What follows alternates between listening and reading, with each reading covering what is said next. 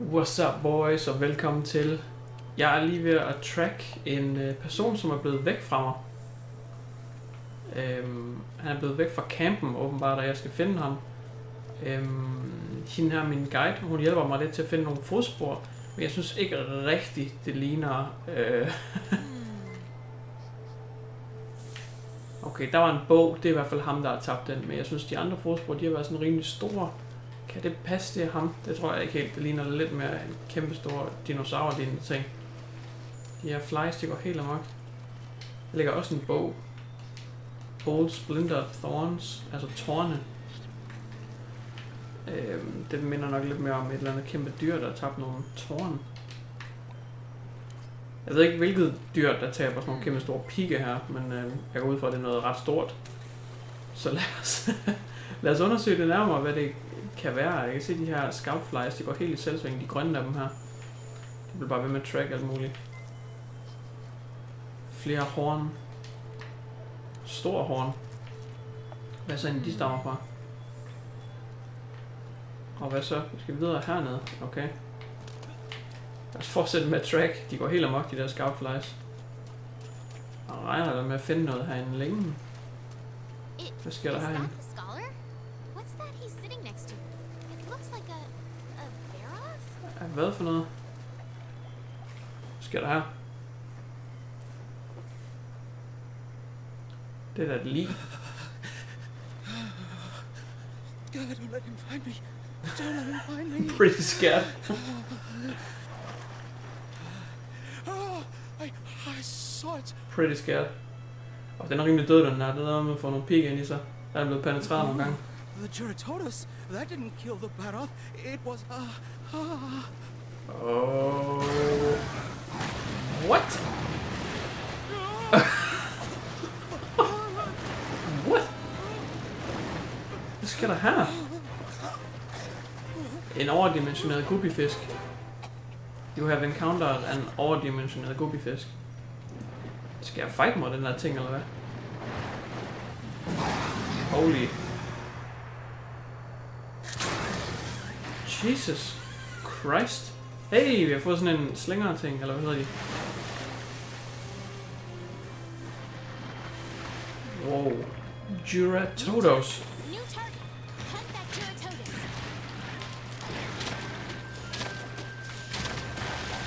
caution. Uh-oh. Oh, what the? Hvad sker der her? Hvordan ved jeg, hvor den kommer? Den er jo vanvittig, den der. Okay, jeg tror, jeg bliver nødt til ligesom at... Okay, jeg bliver healet der, min mate. Godt nok. Det er sindssygt, det der. Den kan simpelthen gå over land. What the hell, man? Og den kan slå mig halen også. Fedest. Og den kan skyde. Selvfølgelig kan den skyde også. Of course. Hvorfor skulle den ikke kunne skyde? Hvor er den svag henne? Hvad er det her for noget gooey noget? Det er måske det, den skyder. Okay, den er vanvittig, den her. Potion. Ja, tak. Nej, nej, nej, nej, nej, nej. What? Okay, den her, den kommer jeg aldrig nogensinde til at kunne dræbe. Så hvad sker der her? Potion, tak. Er vi så allerede på potion nummer 2 her? Det er vi. Fantastisk. Den er da sygt nasty, den her. Kommer ikke til at tage første hug, det er jeg ret sikker på. Jeg synes heller ikke rigtig, jeg skader den. Og hvad er det for noget slim, den har kastet? What? Jeg er smarter til focus on healing, siger hun, men jeg har jo ikke nogen potions. Jeg havde det der golden spytter, som jeg vader i.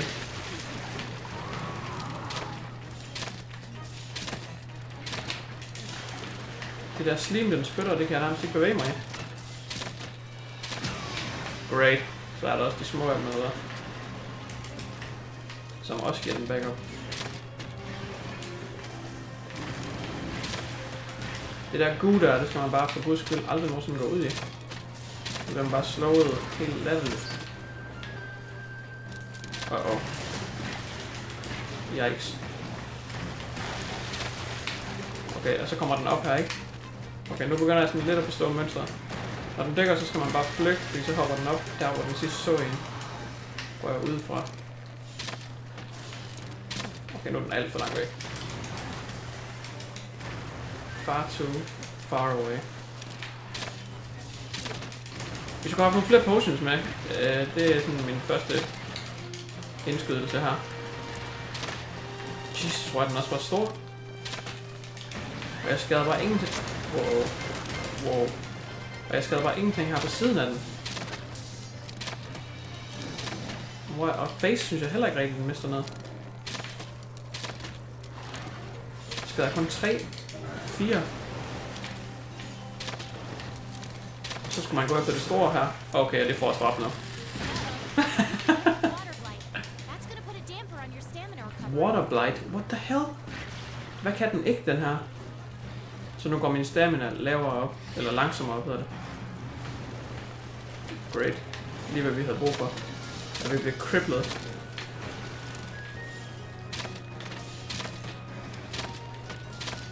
Hvad med halen? Hvad øh, flygter den nu? Har vi skadet den så meget? What? Jesus.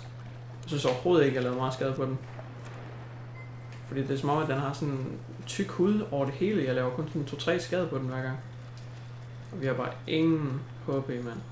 Det er noget, med, man kan lave potions. Crafting list. Potion. Item can be crafted. Confirm. Ah, okay. Så bruger vi det herb, vi har samlet til at lave potions. Cool. Det kan vi nemlig godt lige bruge. Very nice. Det er første gang, jeg har haft brug for at virkelig craft øh, potions for at overleve. Jeg må nok hellere bare drikke en til. For en sikkerheds skyld. Okay, lad os følge sporet. Og øh, lad os håbe, at den flygter, fordi den er ret såret. Den er lige der. Lad os håbe på det bedste. Wow.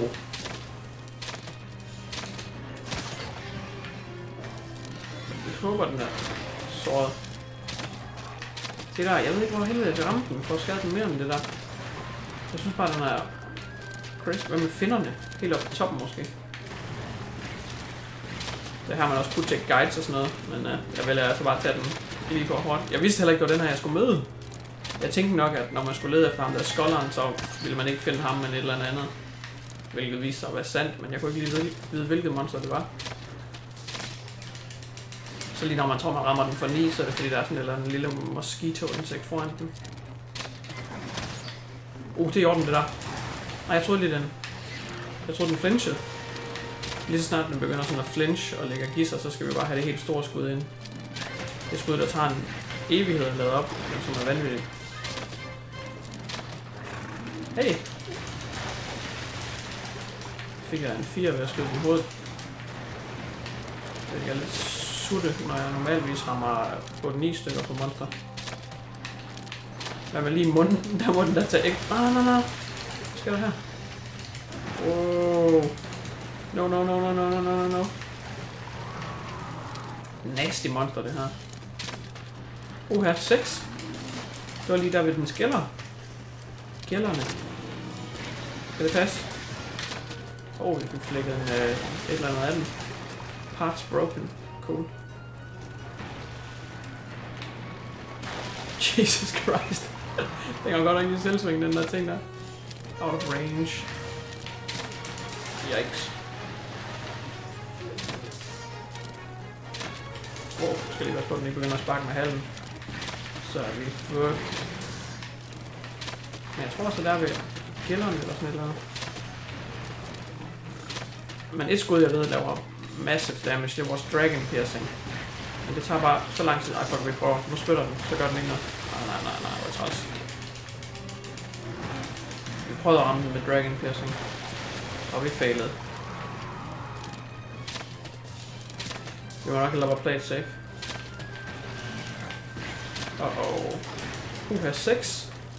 In the face. 4 5. Uha. Dragon. Nu skal vi have en. Vi skal have en.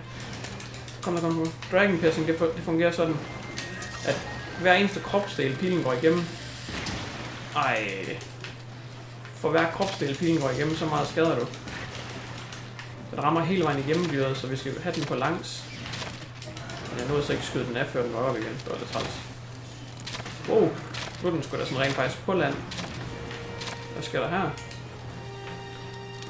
Jeg tror faktisk, det er fordi, den er blevet... Øhm, whoops, enraged. Så plejer de altså at gøre andre ting, som eksempelvis at gå på land. Jeg tror mig, det er fordi, den er ved at være sur. Hvilket vil sige, at den er ved at være lav. Hvad så? Flygter du nu? Hvad laver den? Den ser ud til, at den bare er rigtig sårbar over for det her angreb. Bum. Jeg skader godt nok ikke så meget på den. Det mener jeg bare at ramme 20. Der står vist kun 9-10 stykker. Uh-oh. Uh-oh. I don't like this. I don't like this at all. okay, cool. Den... Nej, den har også taget noget skade nu.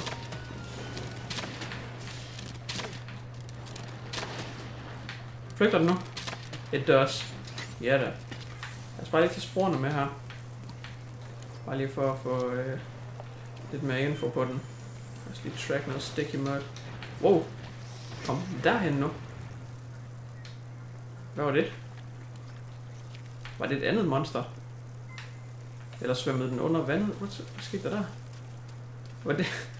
Lignede det ikke et andet monster? Det kan være, det var en barrow Sådan et stenmonster, der også ligger under jorden. Alright.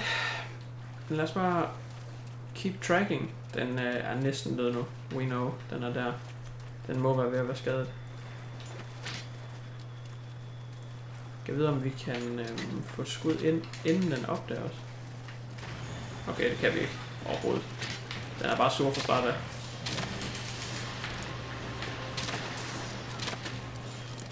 Hvor sidder de gælder henne? Okay, vi går efter den. Stor skud. We don't care. Ah, det var ikke meget skade, vi fik ud af det. Den vendte desværre siden til. Jeg troede lige, den ville vende sig over mod os. Wow. Det der gooey noget der, det æder med med nederen. Man går i det, så man bare fucked. Uh oh. No, no, no, no, no. Oh. Jesus, den er vild, mand. Jeg håber, at man kan crafte noget vildt gear med den her. Men jeg vil sige, det er faktisk et tid siden, at vi tog damage fra den. I starten der tog vi alt, alt, alt for meget damage.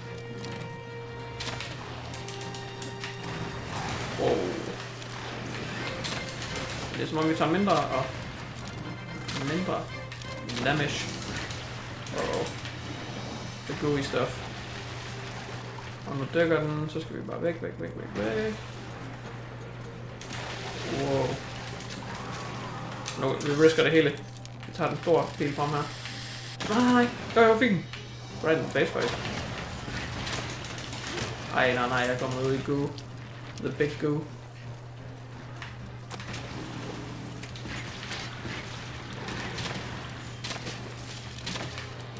That's a big fish. Er det eneste, jeg kan. That's a really big fish.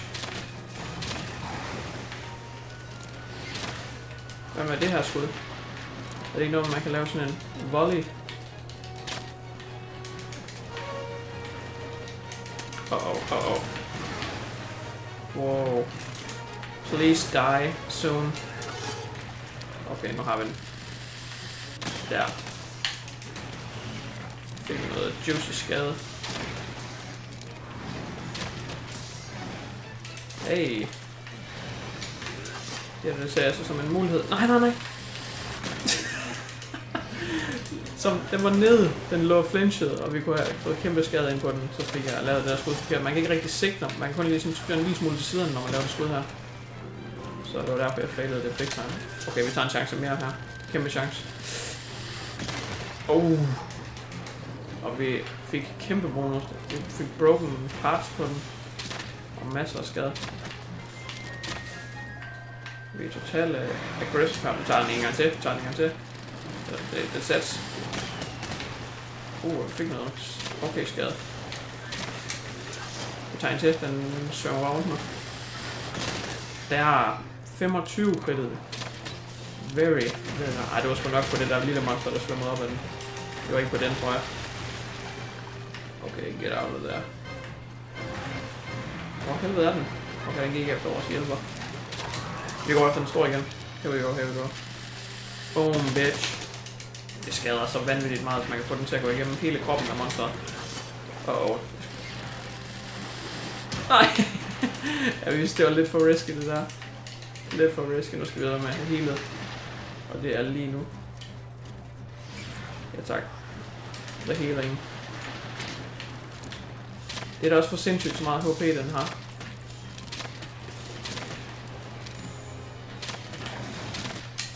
Hey, ligger den ikke nu? Lad os tage det store skud. Oh, vi fik lige halen af den. Den må æde med at være weak nu. Er du gal? Det har været en lang hånd, det her. Kvarter kører vi på nu. Næsten et kvarter. Men den så også ud til at være rimelig brugt nu. Rimelig slidt.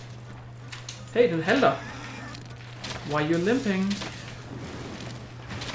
Den halter sgu nu. You know what that means. Fedt, mand. Vi har den nu. Den halter. We got this, boys. Den er totalt weak nu. Helt ligger den til at sove her? Okay, så har vi bare et kæmpe skud på vej. Hele vejen igennem kroppen af den her. Ja, tak. Åh! Oh! Lad os bare prøve at se. Jeg tror godt, vi kan nå en til. Slap. Ja, der var meget skade der. Vi tager sgu en tredje. Han bruger lang tid på at rejse sig. Vi fik skudt den af, men uh, jeg tror ikke, det var så effektivt. Vi blev selv lige øh, uh, ramt der. Det var galt, den er lav nu. Den må virkelig være low. Den må være latterligt low. Det er så det, der er. Ja, man, der er nogen, der siger, det er fedt, andre synes ikke, det er fedt. Men det der med monsterne, de har ikke health bars her. Man skal bare se på deres kropssprog, hvornår de sådan er svage, og hvornår de sådan er ved at dø, og hvornår de halter og sådan noget. De har ikke bare en health bar, som de har i mange andre spil, men det synes jeg er fedt nok. Uh -oh. Uh, han står godt til sådan en her. Eller hvad? Okay, det gjorde han ikke. Jesus Christ. Hvor bliver han af nu? Der. Vi går efter den. Endnu en. Endnu en. Vi bliver mere og mere modige her. Og det kan er det. Uh oh. Uh oh. Wow. Så får den igen. Jeg får den her. Hold kæft, den har taget meget skade nu. Vi får den bare herfra. Jeg skal ikke til at løbe hen til ansigtet, fordi jeg, jeg ved godt, den ligger nede og lider, men uh, jeg når aldrig derhen. Ej, nej, nej, den skulle jeg ikke have taget. Det var ikke... What? Hvor lækkert. Lækker rigere. Det er den længste fight, jeg har haft i det her Monsters Hunter spil indtil videre. Knap 18 minutter, 16 minutter, 16-17 minutter. Jesus Christ, man. That's a big fight. Nå, vi må heller lige skynde os hen og få karvet. Nice. Lad os få karvet lidt her. Scale. Hvad får vi ellers? Får vi noget øh, uh, shield. Used to craft gear. Og så får vi sikkert bare et eller andet scale igen eller sådan noget. Nej, en fin. Det vil sige, det er lidt mere sjældent. scaler, hvis det er mest hyppige. Så finde, det er vi da meget, meget glade for. Så nu skal vi bare tilbage til byen, har afleveret questen, og så skal vi se, om vi kan crafte noget gear med det her nye uh, lir, vi har fået. Yeah, buddy. Lad os se, om ikke der er noget lækkert gear, vi kan få fra den der, vi lige har slået ihjel. Vi må i hvert fald kunne se det nu. Det er noget med, det bliver available. Lige snart, at øh, man øh, har materialerne til det. I hvert fald nogle af dem. Der er den Julia, eller hvad den nu hedder. Der er helm, chest, hands, bukser. Jo, jo, jo, jo, jo. Har defense 14. Det er noget af en upgrade for det, der jeg render rundt med. Jeg tror faktisk, at det er en... Jeg kan ikke huske, hvad det er, jeg render rundt med, faktisk. Lad os lige tjekke... Øh... Vi skal lige se, om vi kan upgrade vores bue til noget fra den også. Lad os se... Nej, ikke sådan lige umiddelbart. Nej. Vi kan ikke se det endnu i hvert fald. Iron Bow, som vi lavede Iron Bow 3. Vi kan lave... Jo. Nej, det er Kuloyaku. Ja. Det ser ud til, at vi kan lave noget våben endnu i hvert fald. Jo, der! Jur Juratodos. Var det ikke den? Det tror jeg, det var. Not bad, en aquabow. Selvfølgelig er det en aquabow, men det er sådan et aqua monster, som også kan opgraderes. Very nice. Vi har den her Kulo Arrow, som vi også kan upgrade, hvis vi har lyst lidt senere. Very nice. Vi kan også prøve at se, om vi kan faktisk kan craft noget helt nyt. Øhm, hvis man for eksempel vil skifte til et Great Sword, tror jeg det er. Det kan vi jo for eksempel også godt upgrade. Vi kan også køre Bone Tree. De slår ud med hårdt. Der kan vi også bare lave et, øh, et Juratodos svær Aqua Slasher 1. Det kunne være sjovt at prøve et andet våben også. Det tror jeg faktisk snart, jeg vil prøve. Og jeg tror, det bliver svært. Eller så bliver det de her slicers her. De er så nice. Så bare dual wield. Gå helt i selvsving. Der kan man altså også få nogle nice nogen. Der er Koloyaku. Og hernede det er vel... Øh, ja, der er virkelig mange våben med den der Juratodos, eller hvad den hedder. Det kan man nok lave med alle træerne. Nå, men tusind tak fordi I kiggede med. Jeg håber, I nytte videoen. Jeg synes i hvert fald, det var, det var en af de fedeste fights, jeg har øh, haft i Monster Hunter indtil videre. Det var fandme en, en virkelig god fight, det der. Også en af de lidt længere. Så jeg tror lige, jeg vil trykke save game, så jeg er sikker på, det er gjort. Og så ses vi forhåbentlig i den næste video.